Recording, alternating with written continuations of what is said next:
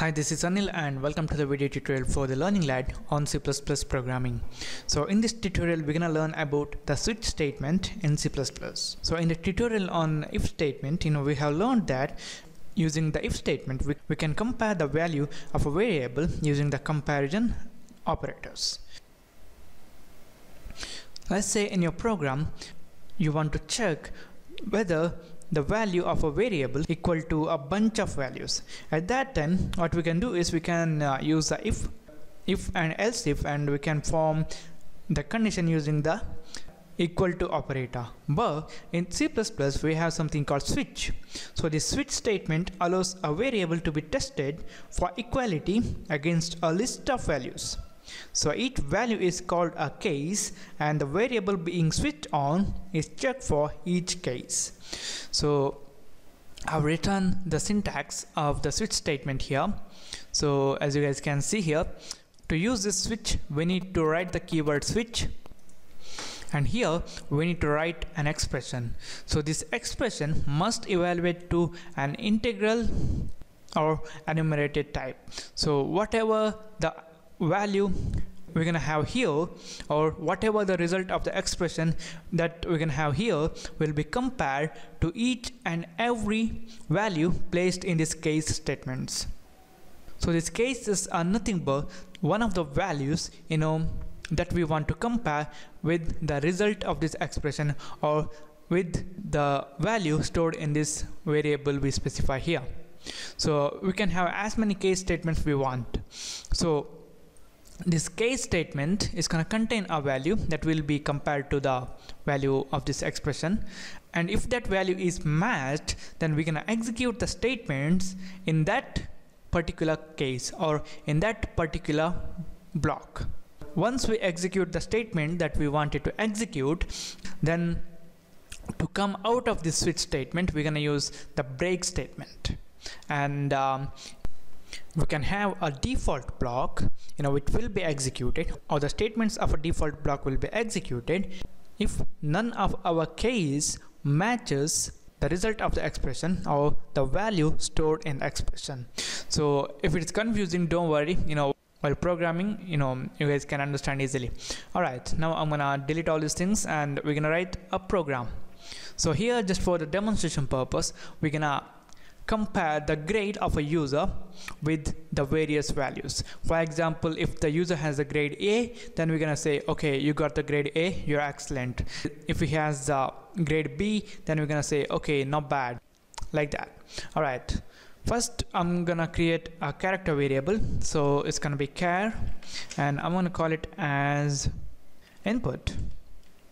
All right and next I'm going to use a switch statement. To use the switch statement we need to write the keyword switch and then a pair of parentheses. So between these parentheses we need to write the expression or the variable that we want to compare with a bunch of other values. So here in this case we want to compare the value of this input variable. That's why I'm gonna write the input here. So it can be an expression. Alright but make sure that when we use an expression you know the result of that expression must result in integral or enumerated type.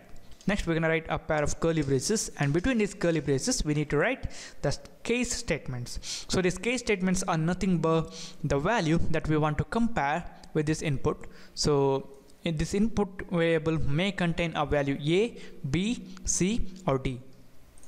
So here what we're going to do is we're going to write case a I'm gonna write capital A and uh, since it is a character it should be written in single quotes then colon. And then if you guys want you guys can form a code block by using this curly braces. I use this because you know when I use this you know I can place the code neatly. So here within this block I'm gonna write the statements that I want to execute. So here we're gonna say cout we're gonna say excellent and next if you guys want to write any statements you guys can write. But here we just want to write only this much. And we need to write the break statement to come out of this switch after executing this case. And then I'm gonna copy this case. And I'm gonna paste it in the next line. And two more times. Okay. Next I'm gonna change this one to B and the message is gonna be very good. And this is gonna be C. And the message is gonna be good. And this is gonna be D. And the message is gonna be okay not bad. Alright so I'm gonna save this one right now. And we're gonna initialize this input variable with a value of a so I'm gonna write capital A because you know we have used capital A here. And I'm gonna save this. I'm gonna build and run this. So you guys can see it says excellent. So that's because what happened here is you know this input variable was containing the value a. So that value will be compared with the values which we have in these cases. So first it is compared with this case a. And at that time it matches and that's why the statements inside that block or the statements in the case a block will be executed. Excellent. And then we have the break statement. That's why the control comes out of this switch statement and uh, you know it just uh, executes the other statements. So we're gonna have done grading. All right. Before that let's include a new line. So it's gonna be end line alright I'm gonna save this and run it again. So now you guys can see excellent break statement and it comes out of this switch and continues to execute the other code. The next thing is if we change this one to let's say C and run this you know it says good done grading and uh, you know similarly if if the value is B or D then it's going to execute the particular or the respective block. So I'm going to save this one. The next thing I want to teach you is about the default block or the default case. So in a switch statement we can have a default case. So this default case or the statements that we're going to write in this default case will be executed if the result of this expression or or whatever the value we have in this variable will not match any of the values of these cases. At that time, the default block will be executed.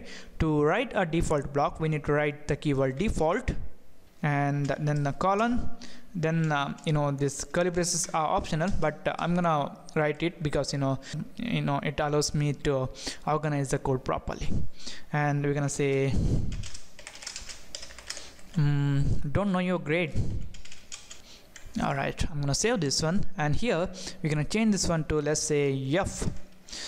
Now we have f you know and none of these case values are gonna match this value f and that's why this default block will be executed and it's gonna say don't know your grade. I'm gonna save this one. I'm gonna build and run this.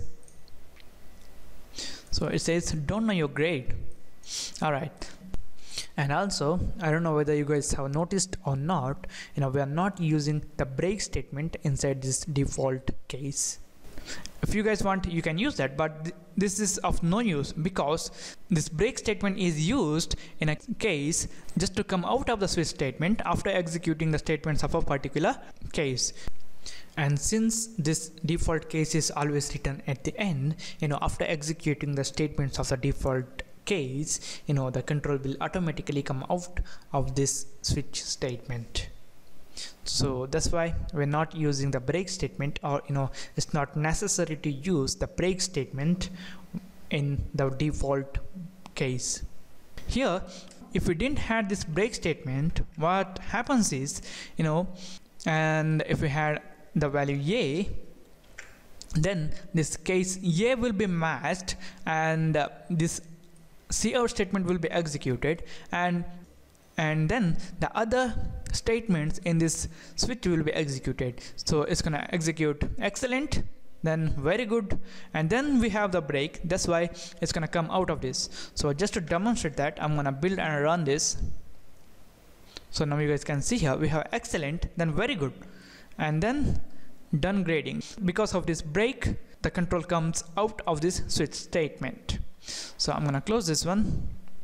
And the next thing that I want you guys to teach is if you want to execute the same statements for different values of cases then you guys can combine them. So here we have case A and we are executing this cout statement. Let me add a break before. Okay. Now I want to execute these statements for the case small a also. So I can combine that so it's gonna be case and small a and again the colon. And uh, you know these statements in this block will be executed if this input variable contains a capital A or a small a. So you guys can combine that. So I'm gonna change this one to small a you know just for the demonstration purpose. And I'm gonna build and run this. So now you guys can see we got excellent. So similarly you guys can write as many case statements you want in your program and you guys can uh, you know group as many cases to execute the same code.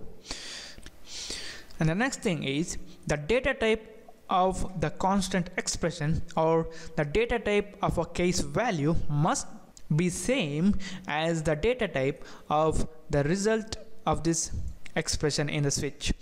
So if this case value has character data type then this switch variable must have a character data type. And if it is int it should be int.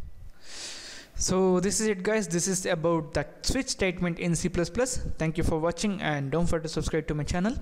If you guys have any doubt don't hesitate to ask us and like our Facebook page at facebook.com slash learninglad and I'll see you in the next tutorial